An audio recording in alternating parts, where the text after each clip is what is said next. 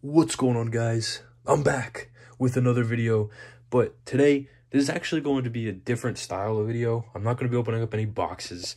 Uh, I'm not in my normal normal uh, setup for for card videos, but I have decided that I'm going to clean out my collection. Now, this is a complete and utter disaster on this desk, but all of these cards I'm going to try and get rid of using eBay. Now, I used to sell on eBay. I stopped because it was just getting too much. I try, you know, I was one of those guys trying to go to shows and stuff and, and try and flip cards, but that kind of didn't really work for me just because of the cards that I'm into and that I know. You know what I mean? Most of the card shows I go to didn't have, you know, hockey. They didn't have Stranger Things. They didn't have Game of Thrones. And I, I just couldn't do it anymore. So I decided to stop. But now I want to clean out my collection. I want a fresh start. I don't want to collect cards just to collect.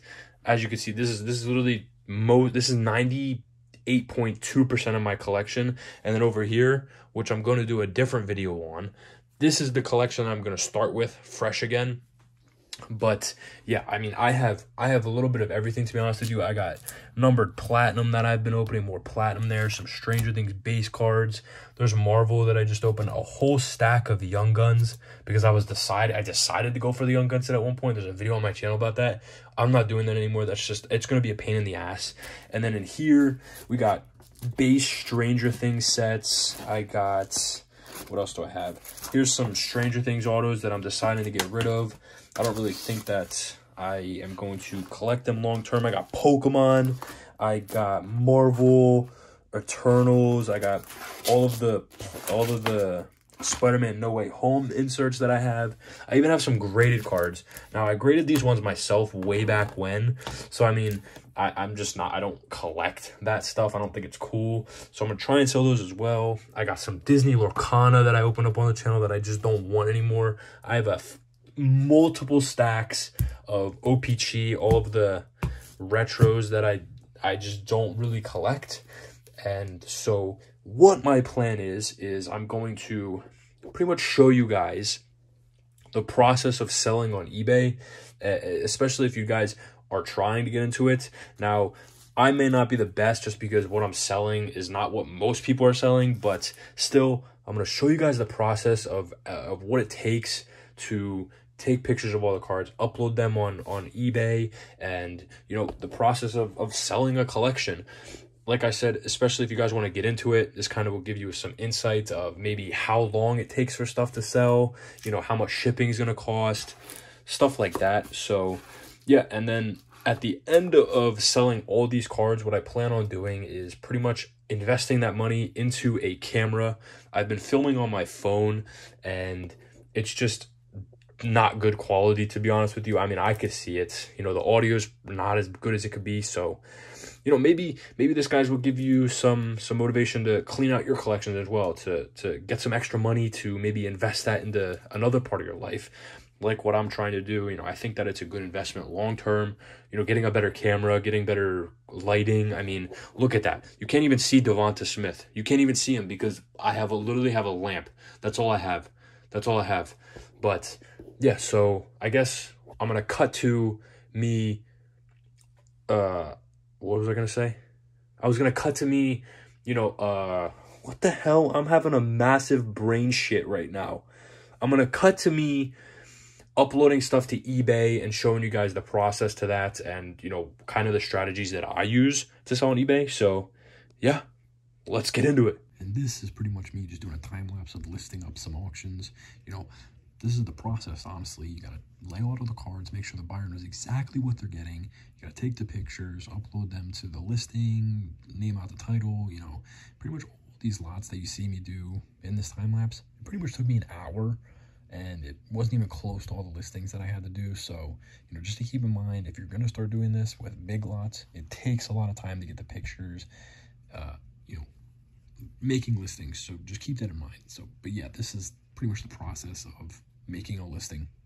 And then I'm going to show you right about now uh, what it what you have to do to actually do the the titles, all that, all that shit with the specific listing. So I searched up what I'm trying to sell, and it pretty much asks you what kind of lot you're selling. You know, you're selling a, a sports card lot, a sports card single. Well, you got to pick the right one that you're doing. I chose sports card lot, right? Now, you got to upload the photos.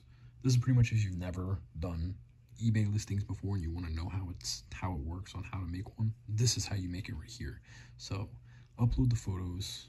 I usually take them before I go into eBay, but as you can see in the bottom in the bottom center, you could hit that plus sign and you could take pictures inside of eBay app. So just just keep that in mind, honestly. And then for the title, you only have 80 characters, so you kind of have to label it correctly so that it reaches the right buyers. I'm not really good at making uh, titles. You know, look at me, I'm doing all caps. Uh, you know, it's not really the best title in the world, but, you know, obviously if you're going to sell on eBay, you'll get better at over time. And also, if you are selling singles, what happens is most of the time you'll have, you'll search it up when looking for that listing and you'll see other people's listings that have sold and you could pretty much copyright and uh, what is it plagiarism? You could plagiarize other people's listings but in a legal way. So you, you can actually you know take everybody else's titles you could take their their descriptions you could take you could take all that if you have if there's another card that sold on ebay that you're trying to sell. So also keep that in mind. So pretty much you don't have to do any of this stuff right here if you just take whatever the other listing has. But i don't show you that here but yeah and then you get the title you go into the the description not the description this is the item specifics right? Make sure you put the right sport the right season the right year right manufacturer and then if there is a set that you are selling here what I, what I was selling but it literally wasn't in the system so you pretty much have to type it in. But you know, all this helps I think. I'm not really sure. I'm not big on you know the, the algorithm that eBay has but yeah put the set in for that specific lot that you're trying to sell. And then got that put in the league. In this case i'm selling nhl cards so it's going to be hockey ice hockey. And then i also really like to do number of cards just to make sure that the buyer knows exactly how many cards they're getting. And yeah obviously if there's player specific players you could put that in there as well but i didn't. And then for pricing you have two options. You can do buy it now or you could do auction. I usually do buy it now just because I, I don't really have time to, you know, auction. Auction's pretty much a gamble. You know I mean? It could go really low, could go really high, could go what you want, could go not what you want. So just keep that in mind. And then, what am I doing here? I thought I put the, I guess I didn't put the description in, but yeah, usually put a description in on what you're selling here. I'm spamming all caps just to make sure that if the buyer wanted to look at the description, I usually don't look at descriptions, but you know, that's just me. I just let them know, see pics for specific cards you're getting, you know, make sure that if there are doubles in the lot, let the buyer know, but you obviously want to make that known in the pictures. Make sure that you could see both the cards, obviously, because you don't want to, you know, and then I usually put at the end PM with questions, oboe, or best offer, just to make them comfortable to actually send in an offer.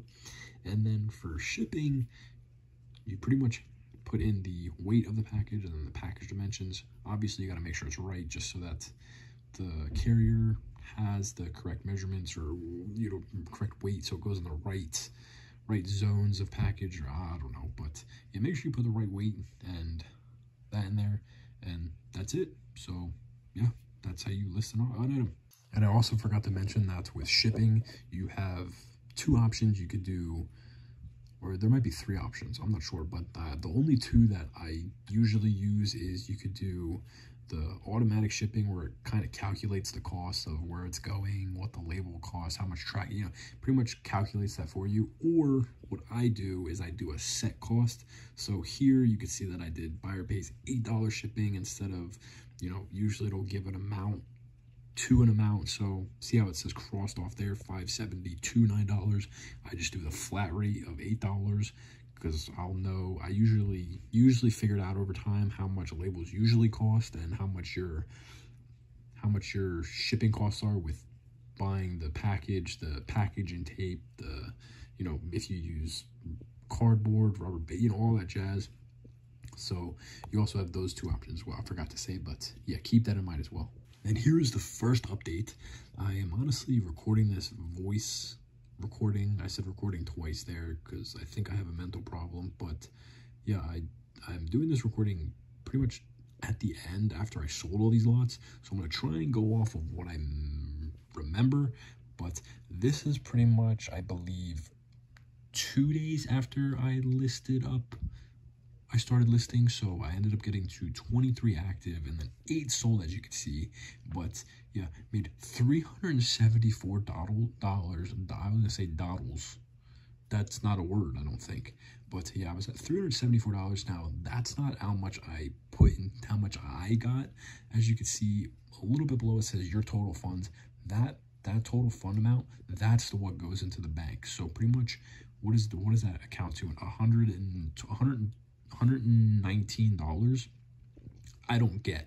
So that's going towards the fees, you know, uh, tracking the tracking labels. I pretty much pay for that out of my funds, so that gets subtracted automatically. So yeah, just just just to be very clear, when you are selling on eBay, you, you if you sell an item for $25, you're not getting $25. That's for damn sure. You have to pay your fees. If you get to a certain amount, you're going to have to start paying taxes.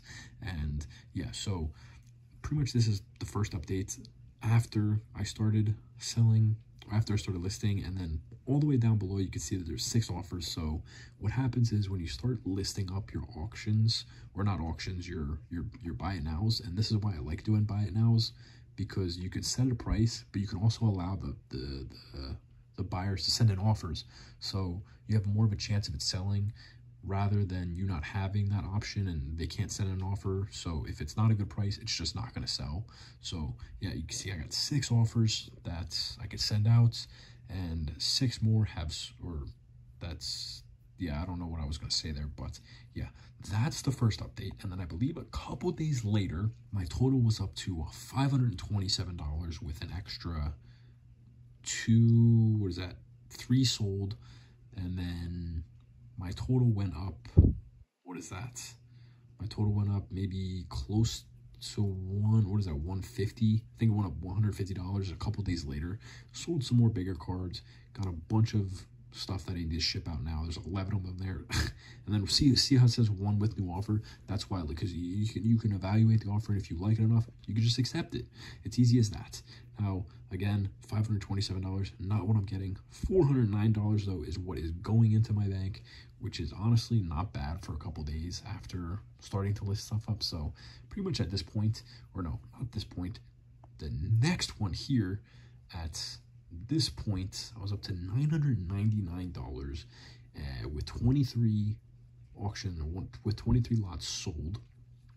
Now, see says the total funds is down to 78. So every certain amount of time after, after, I don't know what the certain period of time is, but it'll transfer out from eBay into your bank and then you won't have it in here anymore for your total funds. It'll just be in your bank. So you don't have to worry about that anymore. But yeah, at this point, I believe I was up to few, what is that? Maybe, I don't know, seven, 750. So at this point, my goal has been accomplished. I wanted to get a camera, wanted to get new lighting. I'll pretty much be able to go and get out that, get all that after, you know, at this point. And yeah, I mean, here, pretty much at my goals, which is amazing, to be honest with you. So, and then the next update here this is massive. I was up to $1,477 total sales. Not what's going in my bank again. Now, was up to 34 auctions sold, which is actually pretty good, honestly. At this point, I was pretty much over halfway through all the cars that I needed to sell. Here, have another $243 going in the bank at some point in the near future. But in this case, it's not the near future, it's the near past because I'm recording this voice after this happened. So yeah. Also had two two items to ship out, four waiting for payment. So yeah, very, very clear at this point. Hit my goal and pretty much at the end was up to $1,668 in total sales. This is pretty much what I ended with here. I believe I was, yeah, this is pretty much what I ended with honestly. But and then I have another update after this one, but I'll explain what happened thereafter. But yeah, ended up with 38 lots sold, 24 active left. I took all the 24 active down. I have a plan for all those lots after at some point. I don't know what I I don't know if that video is going to come out before this or after this, but I have a plan for that. And yeah, I mean, I thought this was this was a just for clarification, this was a two week period, so I pretty much made over a thousand dollars, maybe close to I don't know, let's just say in the twelve hundred to thirteen hundred dollar range. So let's just say take out let's be let's be safe. Say I made twelve hundred dollars in about two weeks, right? Take out four hundred sixty eight dollars for taxes, fees, shipping costs, stuff like that, which is actually pretty pretty fair, honestly. So yeah, I mean it wasn't wasn't easy, but a lot of the a lot of the cards that I ended up selling were sent in through offers, which is how I sold most of my lots. So definitely recommend having that option for the buyers if you are selling on eBay because like I said, it just gives more opportunity to sell the lots. So yeah, and finally, this was total. I ended up selling 40 lots, zero active, zero unsold. Like I said, I took everything down. It was 1675 here. Now, for some, literally, I swear to God, I sold 40, 40 lots of cards. And I shit you not, one lot ended up getting lost for a couple days. And the buyer ended up putting in a a notice to eBay just to make sure that if it was lost, they knew. But it ended up getting it ended up getting found, and then it made it to the buyer, which got delivered, which is huge. So yeah, had that. And then when they when they do put in a notice that the package may be lost, they'll hold the funds, so you'll kind of lose some money. But then if it gets delivered, you kind of gain that back. So just be careful. Packages may get lost, which is another thing that I hate about selling on eBay is that I've had many packages get lost or or or damaged or just you don't I don't even know where they are. You know what I mean? They could be in Antarctica floating in in an iceberg. You know who knows? To be honest with you, who knows? But yeah, this is the end. Hope you guys enjoyed. I am very excited to finally go get that camera, increase the quality of my videos, and hope that we just keep growing from here on out.